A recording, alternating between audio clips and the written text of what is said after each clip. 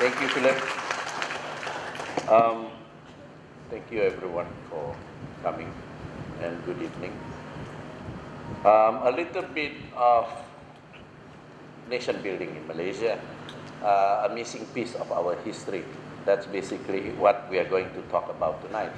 And a little bit of um, uh, background information. Um, I believe uh, since yesterday uh, we have seen that uh, the Sarawak government have been very, um, uh, I would say, very progressive in as far as the rights, especially the rights of uh, Sarawak and Sabah in Malaysia.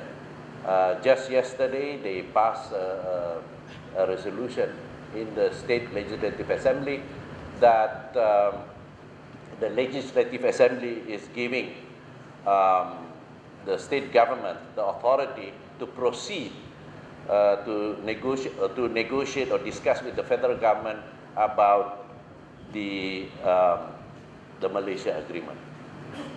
This is the Malaysia Agreement. I'm sure not many people have seen this agreement before. Uh, the problem is that this agreement um, is not printed in Sarawak, it's not printed in KL, it's only printed in Kota Kinabalu, Sabah.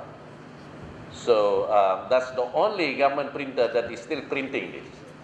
Now, the second document that uh, I want to talk about also tonight will be the Intergovernment Committee report. Intergovernment Committee report is only available also from the government printer in Sabah.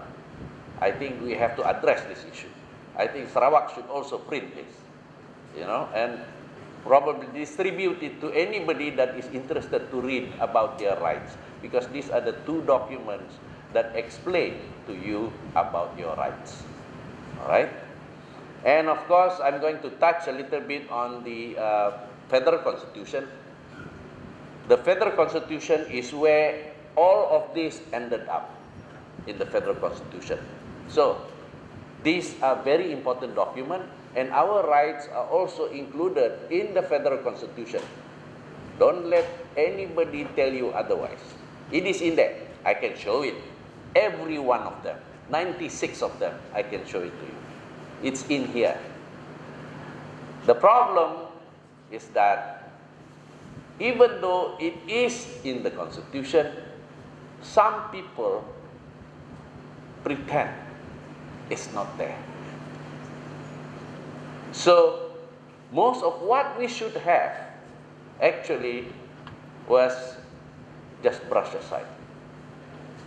So, the basic question we want to ask is this when the Prime Minister take office, when the MP take office, when the Senator take office, they swear that they will uphold and protect the Constitution. So these are the people we should ask this question. Why was our rights in the Constitution overlooked all these years?